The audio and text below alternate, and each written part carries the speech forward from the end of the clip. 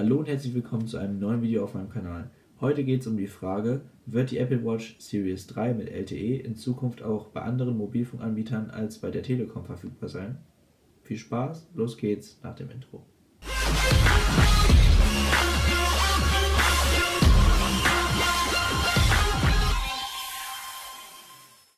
Also, ihr habt euch nun eine Apple Watch Series 3 mit LTE gekauft, so wie ich.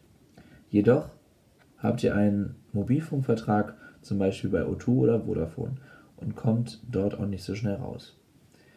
Jetzt versucht ihr euer LTE zu aktivieren. Dies funktioniert so leicht erstmal nicht.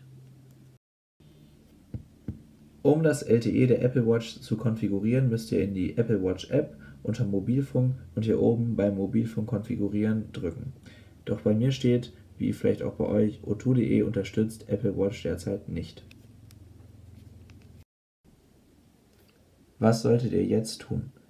Also erstmal könnt ihr die Apple Watch Series 3 LTE auch ohne LTE benutzen. Das heißt, ihr benutzt die Series 3 LTE ganz normal wie die normale Series 3. Ihr benutzt einfach diesen Schalter nicht. Euch wird auf dem Watchface, was extra für LTE angepasst ist, einfach kein Empfang angezeigt, wie ihr das hier seht. Und dann könnt ihr die Apple Watch ganz einfach weiterhin benutzen. Sie kostet natürlich 100 Euro mehr als die Nicht-LTE-Variante, aber ihr seid schon mal vorgerüstet, denn in Zukunft wird Digital-SIM auch von O2 und Vodafone unterstützt, sodass ihr dann die LTE-Variante auch mit eurem Mobilfunkanbieter nutzen könnt. Denn das Ganze funktioniert natürlich so. In die Apple Watch Series 3 könnt ihr keine SIM-Karte reintun, dafür ist die Uhr viel zu klein. Hier mal eine SIM-Karte als Vergleich. Das ist die Uhr, das ist die SIM-Karte also ihr seht, da passt nicht mehr viel, auch wenn ihr hier eine Micro-SIM-Karte nehmt.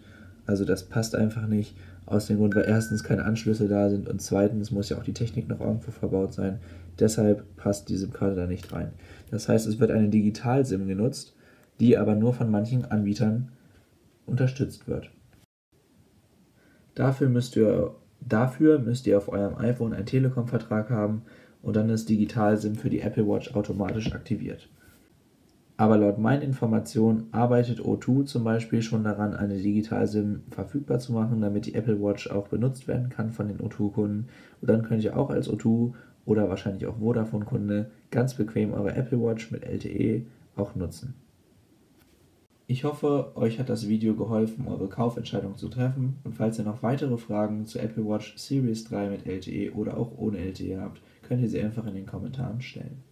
Bis zum nächsten Mal. Tschüss.